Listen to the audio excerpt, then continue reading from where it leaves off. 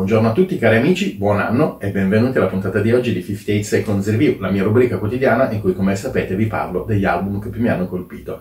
Oggi ho scelto per voi un disco che si chiama Coach e Falling Star di Alice Ricciardi e Pietro Lusso. Questo duo formato da voce e pianoforte sembra apparentemente un classico duo pianoforte e voce e invece i nostri due amici riescono a creare un, album particolarmente interessante, molto bello, molto ben arrangiato e benissimo eseguito. Un disco che, come si può capire, mi è piaciuto moltissimo, sia per la scelta dei brani che spaziano dei classici jazz come What is this thing called love fino ad arrivare a Good Vibrations, e ci sono anche quattro brani originali, sia per uh, gli arrangiamenti e per le esecuzioni. Mi piace soprattutto quando uh, Lusso suona i Rhodes, come in uh, Boys and Girls Like You and Me, che ha una nota blues particolarmente divertente. Insomma, un album ben riuscito, ben eseguito, ben suonato, che vi consiglio di ascoltare. Ciao e a domani.